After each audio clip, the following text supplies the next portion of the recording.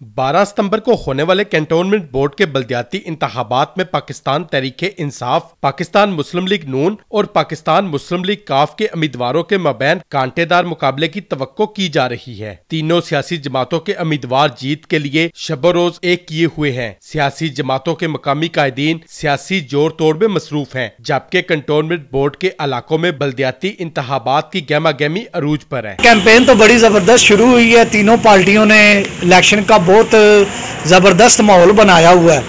लेकिन आवाम जो सी है वो देख रही है उस उम्मीदवार की तरफ़ जो मसाइल है उनको दूर कर सके। डीपीओ जेहलम शाकर हुसैन दावड़ का कहना है कि पुलिस की जानब से सिक्योरिटी के फुल प्रूफ इंतज़ाम किए जाएँगे। जो आम जनरल इलेक्शन में हम ड्यूटी लगाते हैं उसी पैटर्न पे हमने इन पुलिंग स्टेशन को भी कवर किया है। एक रात पहले हम जो आसपास की आबादी है, वहाँ पे कोई सर्च ऑपरेशन भी करवाएँगे तमाम एजेंसियों के साथ मिलके। कैंटोनमेंट बोर्ड जेहलम के इंतबात के लिए वार्ड नंबर एक में वोटर्स की तादाद छह सौ नब्बे, जबकि वार्ड नंबर दो में तीन हज़ार तिरपन वोटर्स हक राय दई इस्तेमाल करेंगे। Mirza Kafeel Baig Kaifi voice of Jhelum